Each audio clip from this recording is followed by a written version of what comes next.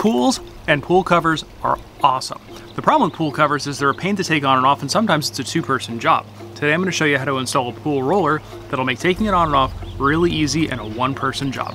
Now the kit that we went with is a kit from Vingli, and it's nice because it adjusts to different size pools, and the entire thing is removable if you want it completely out of the way. There is some assembly required, but it's not too tough. You should be able to get this done in about 30 minutes. Now you're going to start by assembling the stands and the crank arms itself, and that involves just screwing the base into the crank arm.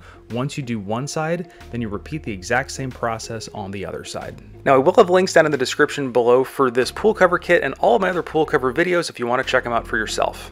Once the cranks are assembled, it's time to assemble the pole that the pool cover is going to reel up on itself. And this, you have some adjustment in this depending upon how wide your pool is. It comes in several aluminum sections. Aluminum's nice because it won't rust, but these things sleeve together and then there's two screw options to put them together. When you put it together the first time, you're going to want to use the smaller screws. This makes it really easy to adjust and I'm going to show you how we're going to secure it a little bit better a little later on in the video. Once the poles are assembled, the poles then sleeve onto the crank ends with a single screw. Now with that all together, it's time to test fit it on the pool. So we're gonna take it over the pool and actually lay it on the edges of the pool. And remember those little screws that we put in before, you can loosen those up and adjust the actual width of the pole a little bit to get it exactly right, depending on the frame and the shape of your pool. Now it does also come with a no drill adapter if you have a framed pool that uses either the tubes or the more rounded edges. We have the flat ones, so we're actually going to be drilling it in. So to drill it in, once we have the locations exact, we mark them with a Sharpie, then we move the base out of the way and we drilled the holes. Now the holes are quarter inch holes, but you probably want to use a smaller drill bit to drill a pilot hole and then use the quarter inch drill bit to drill the final hole. The base is then secure in place with the included hardware. Now this step is optional, but I do recommend it.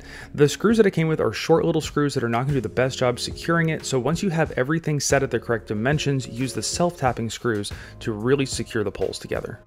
The straps to pull the pool cover up secure to the pole with Velcro, and when you put these on, make sure you put them on the top and in an orientation where when you crank the pool cover, it'll actually tighten down on these and won't undo the Velcro.